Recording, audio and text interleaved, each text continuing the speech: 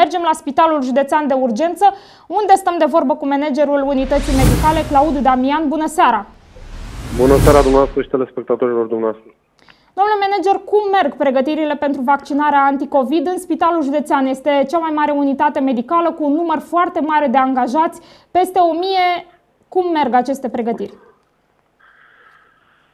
Pregătirile merg bine, ne-am mobilizat.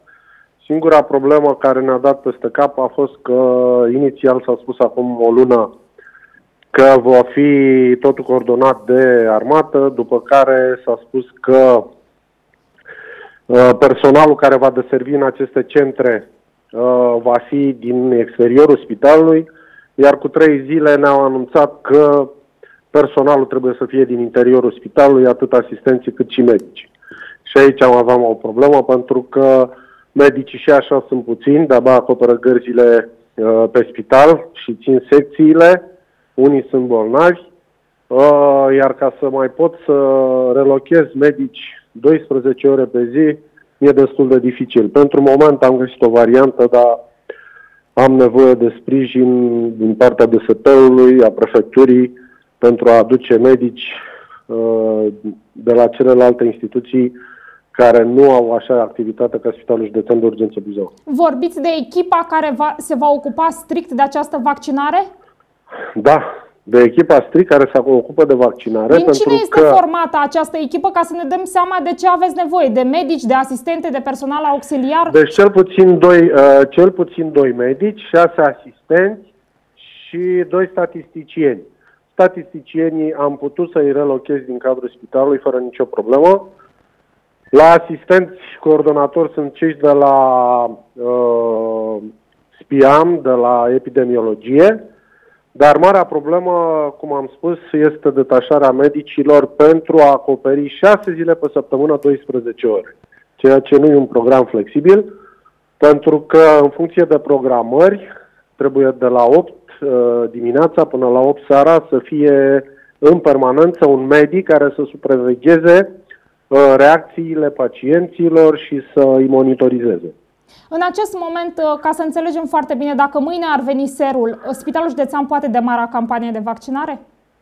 Da, pentru că, după cum am spus, am am găsit un backup cu doi medici din ambulator, dar asta nu poate să persiste pe o perioadă îndelungată, pentru că se pare că uh, situația vaccinării uh, trebuie să rămână activă cel puțin șapte luni.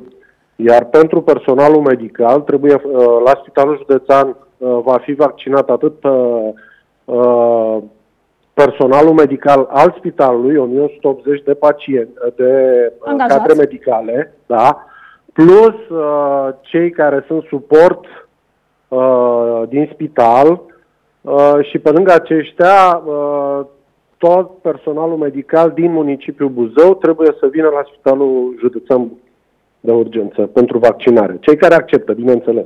Cei care acceptă deci va fi un volum destul de mare. În municipiu mai sunt și alte centre de vaccinare. Vom vorbi uh, și despre celelalte centre, dar strict la Spitalul Județean spuneați că uh, sunt 1180 de cadre medicale. Câte dintre ele și-au dat până acum acordul pentru a fi imunizate? 562 de cadre medicale. Cum vi se pare acest procent? Destul de mic, uh, dar uh, acest procent se datorează odată faptului că mulți au fost uh, contaminați, au trecut prin boală, iar aceștia au zis că nu mai fac uh, vaccinul. Nu este reglementat încă dacă cei care uh, au uh, anticorpi uh, pot face sau nu pot face vaccin. Uh, s-a spus că pot face vaccin.